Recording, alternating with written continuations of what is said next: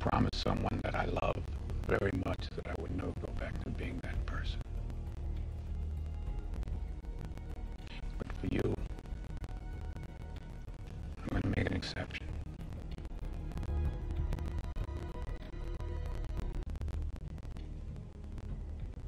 I promised someone that I love very much that I would never go back to being that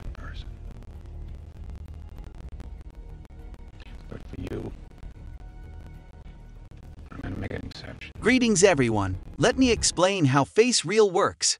Creating a project is the first step. Select your folder. It will create three new folders if they do not exist. Sound, Animation, and Image Sequence folder. Now you can load your video. Note: Before you load the video, it's important to make sure the frame rate of the video is supported in the Unreal Engine.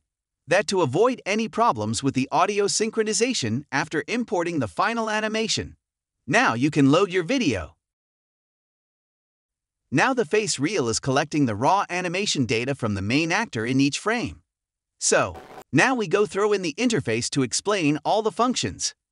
FaceReal controllers. You can switch between controllers by left-clicking. Middle click to add more controllers to your selection. And if more than one controller is selected, you can continue adding more selections by left-clicking. Right-click to deselect the controllers from the current selection. Double-click to select only one controller again and switch between them by left-clicking. Also, you can quickly select multi-controllers by pressing the small buttons or selecting the mouth or selecting all. Right-click to deselect the group from the current selection. Double-click to select only one group. Left-click and hold on to the center of the small button to move the controllers together. When the mirror button is active, the opposite side will be selected automatically.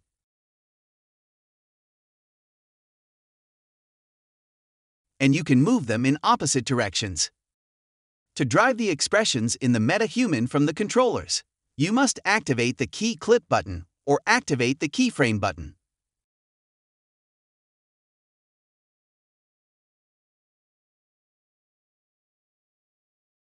Note: Always displays the information of only the last controller you press on it. The information is the name, the expression value, the noise value, the smooth value, the zero fix value, raw animation curves, and the final animation curve. All this information is for the last controller selected shown his name here.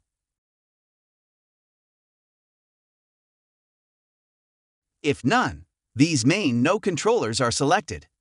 So noise or smooth or any other functions do not affect anything because no controllers are selected. You can select multiple controllers and set the same expression value or noise or smooth or zero fix value for all the selected controllers at the same time, or select only one controller to set a specific value for it. You can temporarily activate or inactive the send data to Unreal Engine by pressing of All button or the On All button, and if only for selected controllers by pressing of Select button or On Select button. Now let's talk about the timeline. Press and hold left click anywhere on the curve editor area and move the mouse to the left or right to seat the video. There is always a blue line in the middle showing the current frame. You can move frame by frame using these buttons or enter the specific frame here. Press play. The video will start from the start frame and end at the end frame of time range sliders. One that I love. I love. You can set the start frame and end frame from here too. All the functions will not affect the animation outside the time range area. The animation can only be edited within the time range area from start to end frame. But if you create a clip and the current frame touches the red line on any frame, it will be the active clip, and the animation can only be edited within the start frame and end frame of the clip. If any part of the clip is outside of the time range area, so you cannot edit the animation on it. Just the part of the clip is inside the time range area, and the current frame touches it, you can edit the animation on it. If the current frame touches the clip, it will be the active clip. But if the current frame didn't touches any clip, so the animation editing will affect all frames in the time range area from the start frame to the end frame. To create the clip, go to any frame you want and press Set Clip, and then go to another frame and press Set Clip again. It will create a new clip between those frames. You can create multiple clips in the same time range area and switch between them. Delete only the active clip by pressing Del Clip or delete all the clips on the time range area. Note, doesn't matters if you delete the clip or you keep it. You will not remove or change the animation you did if you remove the clip. The clips are just marked as a time range to apply the functions on specific frames. Key Clip button.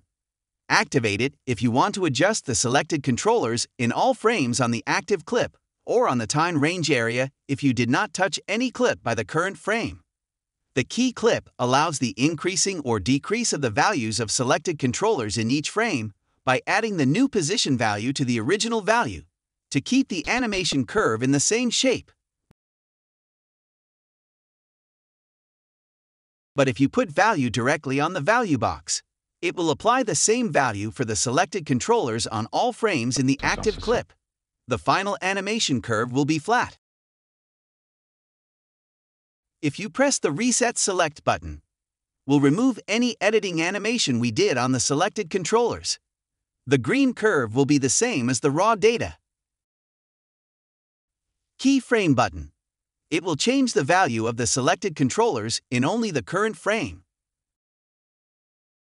The D button and L button only work if the keyframe is active.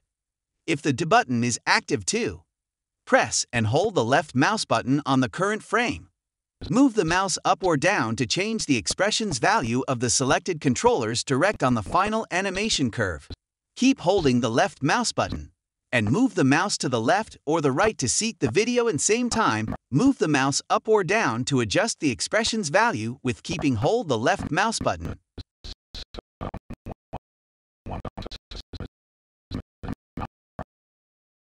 Press the D button again to deactivate it. Now you can seek the video again without changing the selected controller's value. The L button works only if the keyframe is active either. For example, I want this pose to go smoothly to this pose. I will go to any pose from them. First, press the L button. You will see the blue mark on the current frame, and go to the second frame. Before you press the L button again to apply the function. Make sure you select the controllers that need to apply the linear transition on it. Maybe I want to select the mouth controllers, and I will add the jaw to them. To apply the linear function between these two frames, press the L button again. Now the transition between these poses is linear in all the selected controllers.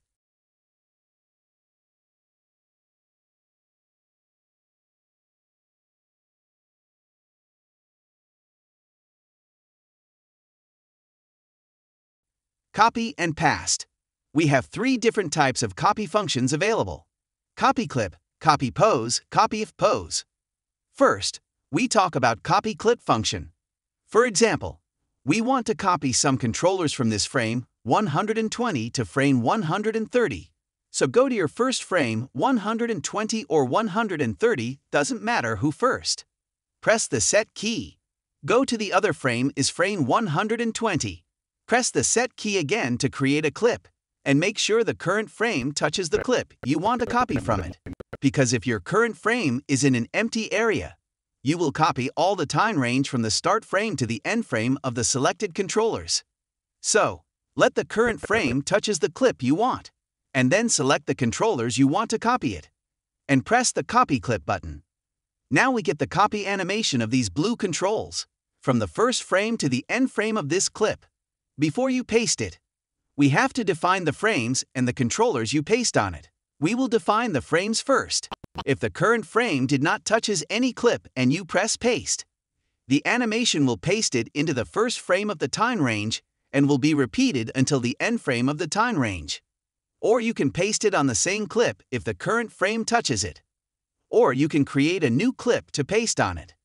I will create a new clip, for example from this frame until this frame, and keep the current frame touching this clip, to be the active clip. Now we have to define the controllers. Do you want to paste it into the same controllers you copied it from? So press Paste Same button. Or do you want to paste it into the opposite controllers? So press the Paste Mirror button. Or do you want to paste it into the different controllers? So select first the new controllers and press the Paste Select button. Note, the first controller you selected before you press copy, it will paste it into the first controller you selected for the paste, and the second controller will paste it into the second controller, and the third controller will paste it into the third controller, and the fourth controller will be ignored. The second copy functions, it's a copy frame button. It's the same technique as a copy clip, but this is for copying only the current frame of the selected controllers. For example, I want a copy of the pose of these controllers in this frame and paste it into this frame. If you want to paste it on the same controllers, so press on the Paste Same button. Or if you want to paste it on the different controllers, you have to select the new controllers first and press the Paste Select button. Or press the Paste Mirror button to paste it on the opposite side. The last type of copy function is Copy F Pose. F means flat pose. The idea behind the copy pose function is copy only one pose in one frame like a copy frame function, and paste this pose on all the frames on the clip or on all time range frames like the copy clip function. For example, I will copy the pose of all the mouth controllers and the head controllers from the current frame and go to any clip or create a new one. Same thing. You can use the Paste Mirror option or Paste Same or Paste Select if we select other controllers. I will paste it on the same controllers we copy it from. Now the pose is repeated in all the frames on the clip. Of the controllers, mouth, and head controllers. Now we talk about the sliders. Noise and smooth sliders. To apply the noise or smooth function. First, select the controllers you want to apply the noise or smooth function on it. You can select all the controllers if you want, and increase the smooth value. Watch the green curve for this controller, or any controller if I press one click on it. Still the smooth function effect on all the selected controllers as the same value, is just the displaying for only one controller. Whatever, we see the green curve now is smoother, on all the frames from the start frame to the end frame of the time range area. You can change it, and give this area a different smooth value. And we can create a clip and set it to another different value too. I can go to different clips, select other controllers, and set a different value. The noise is the same technique. You can set a different value for the time range area, or any other clips for all controllers or different controllers. The noise and smooth function is designed to remove the jitter from the animation to make a smooth transition between the frames. If you increase the value too much, you will lose the animation details.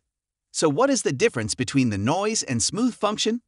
The noise function removes the green curve and makes a new smoothy green curve by removing the jittery frames from the raw animation red curve and apply it to the green curve. It's the final animation. So any editing you did on the selected controller and then you go to change the noise value, it you will lose all the editing animation you did before and you will get a new animation same as the raw data but is more smooths.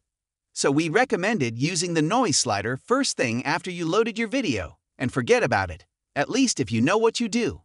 But the smooth function, in this case, is different.